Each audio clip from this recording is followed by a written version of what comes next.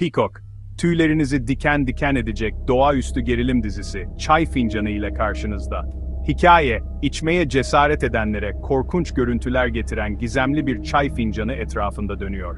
Gerçeklik ve kabus arasındaki çizgiler bulanıklaşırken, bir grup arkadaş laneti kırmak için en derin korkularıyla yüzleşmek zorunda kalıyor. Dizinin yaratıcıları, lanetli nesne klişesine yeni bir bakış açısı getirmeyi hedefleyerek, izleyicilere karanığın kalbine doğru gerilim dolu bir yolculuk vaat ediyor. Ürkütücü atmosferi ve ilgi çekici gizemiyle Çay Fincanı, iyi bir korku arayan izleyicileri büyüleyecek potansiyele sahip. Çay Fincanı'nın karşılaştığı en önemli zorluklardan biri temposu. Dizi, ipuçlarını yavaş yavaş ortaya koyarak ve gerilimi artırarak kendini açığa çıkarmak için zamanını kullanıyor. Bu yaklaşım atmosfer yaratmada etkili olabilse de, bazen anlatının akışını da engelleyebiliyor. Özellikle ilk birkaç bölüm bir aciliyet eksikliğinden mustarip. Hikaye, karakter tanıtımları ve şifreli olaylar arasında dolanarak izleyicileri daha fazlasını isteyerek baş başa bırakıyor. Daha sıkı bir yapı ve daha odaklı bir anlatım, özellikle dizinin ilk bölümlerinde faydalı olabilirdi. Tempo sorunlarına rağmen, Çay Finganı ilk iki bölümde potansiyelinin sinyallerini veriyor. Bazı sahneler etkili bir şekilde ürkütücü bir atmosfer yaratıyor ve gelecek dehşetlere dair ipuçları veriyor. Gizem ve fısıltılarla örtülmüş çay fincanının tanıtımı özellikle iyi işlenmiş.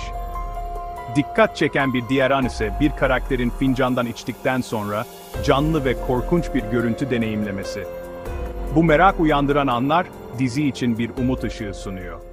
Çay Fincanı'nın oyuncu kadrosu, bazı oyuncuların diğerlerinden daha iyi performans gösterdiği karışık bir tablo sunuyor. Görüntülerle boğuşan ve Çay Fincanı'nın laneti tarafından musallat edilen başrol, ikna edici bir kırılganlık ve kararlılık karışımıyla canlandırılıyor. Ancak yardımcı karakterlerin bazıları yeterince geliştirilmemiş hissettiriyor ve performansları derinlikten yoksun. Hikayenin duygusal çekirdeği için çok önemli olan arkadaşlar arasındaki ilişkiler tam olarak keşfedilmemiş ve izleyicileri duygusal olarak kopuk bırakmış. Daha güçlü bir karakter gelişimi ve daha etkileyici performanslar dizinin genel etkisini artırabilirdi. 5. bölüm Doğaüstü tehdit, basit ama etkili. Çay fincanının güçlü yanlarından biri doğaüstüne olan yalın yaklaşımı. Hem sıradan bir nesne hem de eski bir kötülüğe sahip olan çay fincanı, korku ve gizemin ilgi çekici bir sembolü olarak hizmet ediyor. Dizi akıllıca bir şekilde aşırı karmaşık bir mitolojiden veya dolambaçlı açıklamalardan kaçınıyor. Bunun yerine, bilinmeyenin ham dehşetine odaklanarak izleyicilerin boşlukları kendi hayal güçleriyle doldurmalarına olanak tanıyor. Doğaüstü tehdidin basitliği, ilkel korkulara ve endişelere dokunarak onun etkisini artırıyor. 6. bölüm, bölüm formatı, gerilimi olumsuz etkileyen bir unsur. Çay fincanının bölüm formatının hem avantajları hem de dezavantajları var.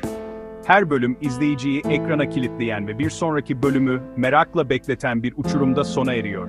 Bu izleyicilerin ilgisini canlı tutmak için harika bir yöntem.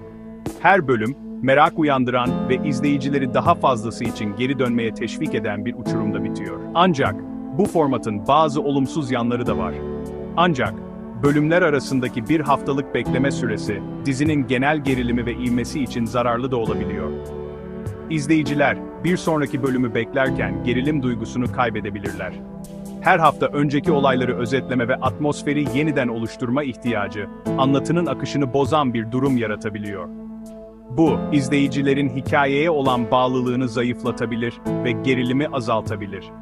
Mini dizi veya uzun metrajlı film gibi daha yoğunlaştırılmış bir format, hikayenin gerilim dolu doğasına daha iyi hizmet edebilirdi.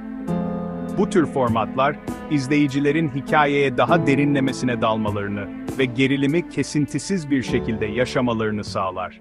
7. Bölüm Uzun metraj film potansiyeli Daha odaklı bir yaklaşım Çay fincanının tempo sorunları ve bölüm yapısı, uzun metrajlı film formatının daha uygun bir seçim olup olmadığı sorusunu akla getiriyor.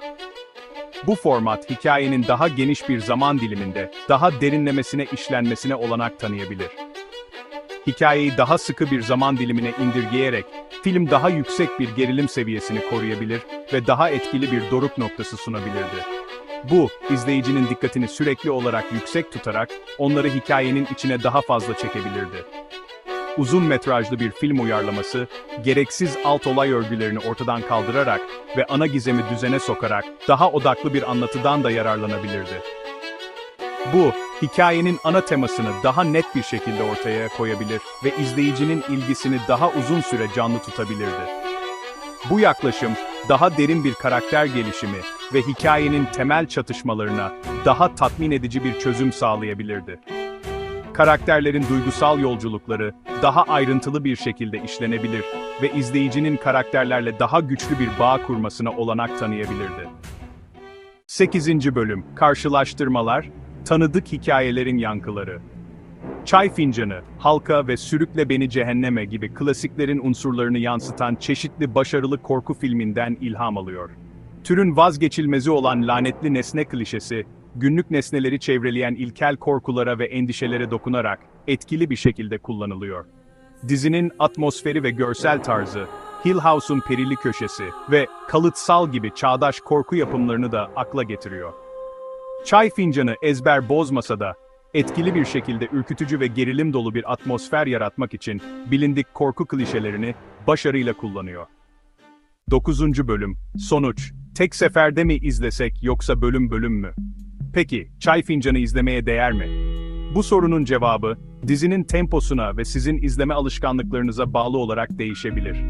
Cevap, yavaş ilerleyen korkuya olan toleransınıza ve tercih ettiğiniz izleme stiline bağlı. Eğer yavaş yavaş gelişen bir gerilimden hoşlanıyorsanız, bu dizi tam size göre olabilir. Hay, gizemleri kademeli olarak çözmekten hoşlanıyorsanız ve haftalık heyecanı seviyorsanız, her hafta yeni bölümü beklemek sizin için tatmin edici bir deneyim olabilir. Bu şekilde, her bölümün ardından teoriler üretip, arkadaşlarınızla tartışabilirsiniz. Ancak, daha akıcı ve yoğun bir izleme deneyimi tercih ediyorsanız, sezonun tamamlanmasını beklemek ve çay fincanını tek seferde izlemek daha keyifli bir yaklaşım olabilir. Bu yöntemle hikayenin tüm detaylarını kaçırmadan bir solukta izleyebilirsiniz. Bu şekilde tempo sorunlarından kaçınabilir ve kendinizi dizinin ürkütücü atmosferine tamamen kaptırabilirsiniz. Her bölümün ardından beklemek zorunda kalmadan hikayenin akışına kendinizi bırakabilirsiniz.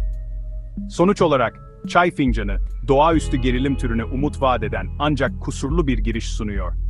İzleme tercihiniz ne olursa olsun, bu dizi size farklı bir deneyim sunabilir.